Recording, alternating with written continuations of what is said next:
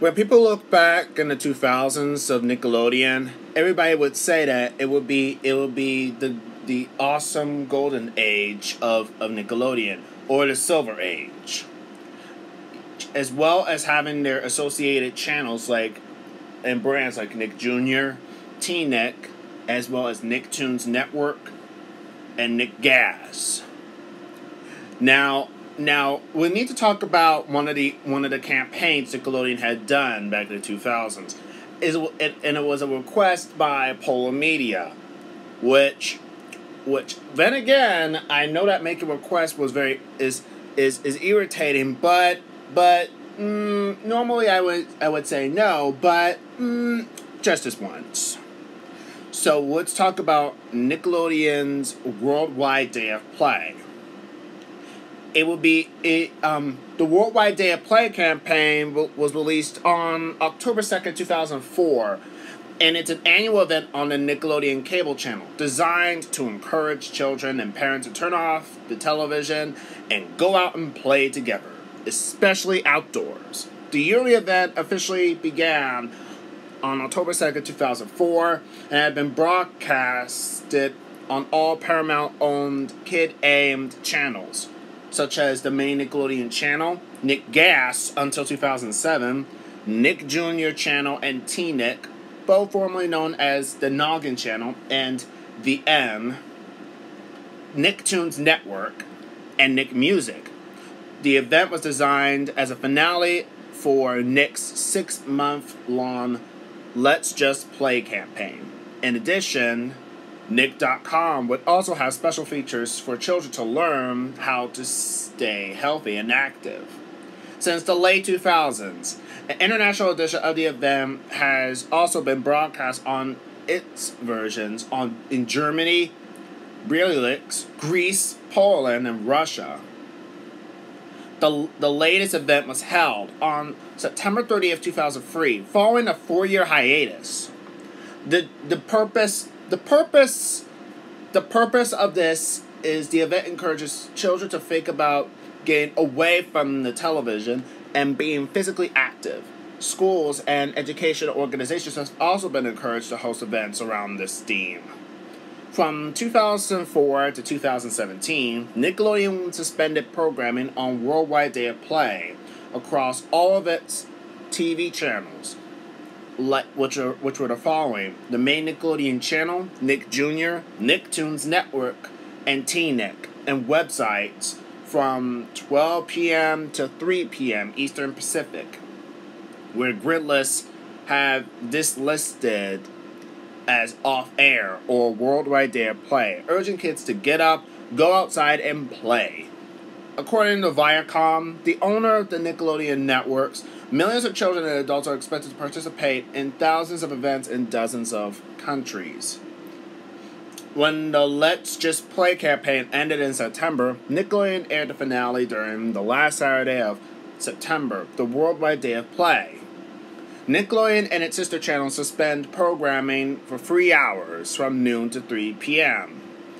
During the time, there was no programming special message would appear on screen. There, there was no Let's Just Play campaign in 2008, though the, the day of play was held that year.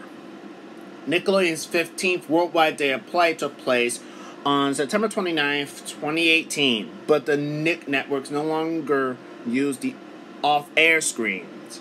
The 2019 event was the last event to be held until 2023. New episodes of Nickelodeon's series. After Nickelodeon resumes airing, they would usually air marathons and premieres of Teen Nick series or SpongeBob SquarePants. In 2008, SpongeBob SquarePants, alongside Just Jordan, Tak, Zoe 101, iCarly, and Back at the Barnyard, had new episodes. Following in 2008 was the season premiere of iCarly and the finale of my Family's Got Guts. Following in 2009 and 2010, respectively, iCarly, True Jackson B- VP, and Big Time Rush had new episodes, with the inclusion of Nickelodeon's rebrand.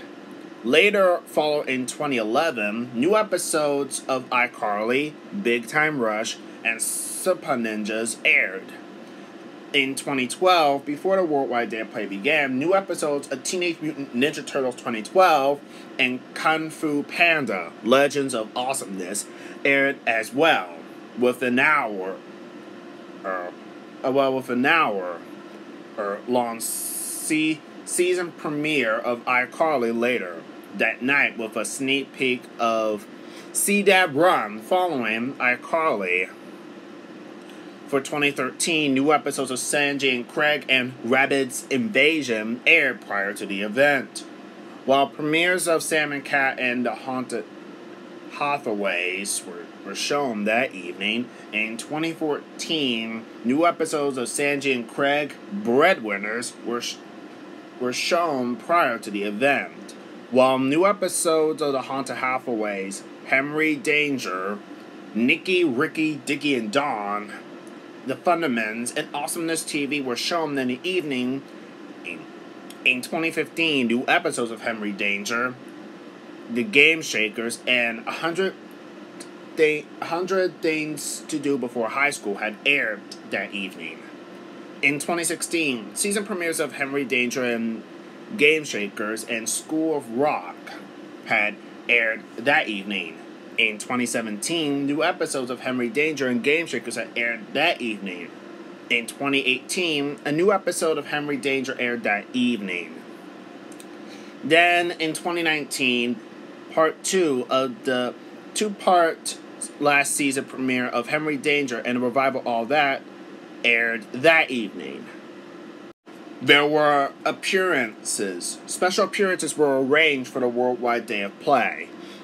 Guests have included the First Lady Michelle Obama. Some of the guests were included in of its cast on the original Nickelodeon shows, such as Power Rangers Samurai, Big Time Rush, and Nick Jr.'s musical show, The Fresh Beat Band, made an appearance. Now, now once again, the latest the latest event was held on September 30th, 2023, following a 4-year hiatus. So that's about it. Now, I I really I really um though I I remember looking at that program and and remember that Noggin was off was off the air for some time for 3 hours. Though this made everybody very cross and very pissed at this point because everyone wants to watch Nick Jr. and Nickelodeon and TeenNick and Nicktoons. Not they don't want to go out and play. Not all people doesn't want to go outside and play as as they as they just want to watch some TV. But but the Worldwide Day of Play encourages you to go out and play. I remember when Noggin had this type of um campaign, which is which is where you had to where you had to go out and play and, and exercise, and it's very healthy.